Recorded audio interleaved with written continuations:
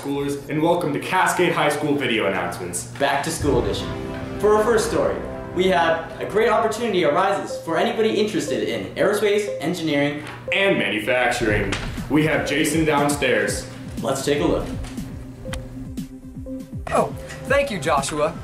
Well, on Saturday, October 17th, from 9 to 11 a.m., at the Boeing Portland site, uh, the Boeing's Portland site will be hosting a tour for 75 students of, or and chaperones uh, from the area high schools, and who are 15 years of age or older, and uh, are interested in manufacturing. So this biannual event, biannual every two years or twice a year, um, event is designed to expand the knowledge about and improve general public perception of aerospace manufacturing. High school students interested in this opportunity are encouraged to contact their school counselors. Space is limited. Advanced registration is required. The cutoff is October 1st, 2015. Do you like planes? I love planes. What's your favorite plane? I love planes. What is your favorite plane? My favorite plane is paper plane. My favorite plane is a paper plane. How do you make a paper plane? So you get a piece of paper. Oh, okay. You go like, you get like, you get like this. Seen worse? I haven't seen worse. there you go. This is a quick tutorial on how to do it. I mean, not the best. Riveting. There you go. And then you throw it. Didn't fly that well, but I mean, Now back to you. Well, that sure was an interesting story. It was indeed. And it sure seemed like the person that Jason was interviewing came up with all their stuff on the fly. Uh, Anyway, let's turn to Dominic Federico for sports. let's take a look. Thank you, Brandon. And tonight we have a football game at 7 o'clock. Be there! And also, this Saturday we have a volleyball tournament at home. Back to you, Brandon.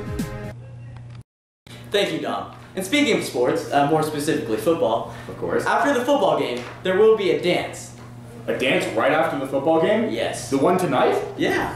Oh, that sounds interesting. We got Hassan Beatrice with more on the story. Thank you, Brandon. Well, after this Friday's football game, there will be a all-school dance. For uh, freshmen are free. With ASB, it is only $2 for upperclassmen and $4 if you do not have an ASB. Do you plan on going to this dance? Probably not. You're going to the dance, boy. Probably. Yeah, you are going to I mean, it's an. If if I really had the choice, and it was free, why not? Right? Really? Yes. It's a once in a lifetime opportunity. Once in a lifetime. You gotta take the opportunity to be a person in this world. And you're doing it. I won a Grammy. You won a Grammy? I won a Grammy. You're on. The best dance move. That, I think it's music. Thank you, Hassan. And now, A quick look at weather. Let's take a look. Today we have a slight chance of rain. Thank you, Brendan.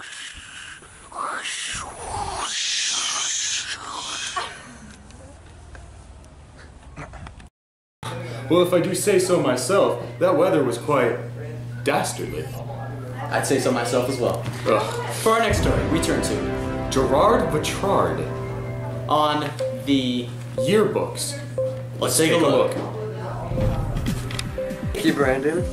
Um, if you have not picked up your yearbook from last year, please do so before or after school in Miss Lee's room. If you do not pick it up by October 31st, they will be donated. So, what is your favorite animal? Doggies. What do you feed dogs? Dog food? Yes. Do you like cats? No. Why don't you like cats? They're sneaky. That is, a cat bit me the other day. See? Back to you. Well, that concludes this week's segment of Cascade Video Announcements. Tune in next week to get more of Cascade Video Announcements. Man, all this talking got me kind of thirsty. I bet. That's some good H2O.